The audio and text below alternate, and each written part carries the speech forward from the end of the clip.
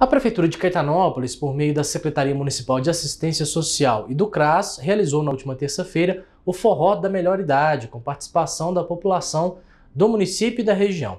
O evento foi realizado no Clube Social de Caetanópolis e contou com a animação de Marconi e seus teclados, que também irá animar os próximos forrós. O evento tem como objetivo promover políticas socioassistenciais que trazem ah, uma melhor qualidade de vida para os idosos e proporcionam momentos de lazer e fortalecimento de vínculos familiares e sociais.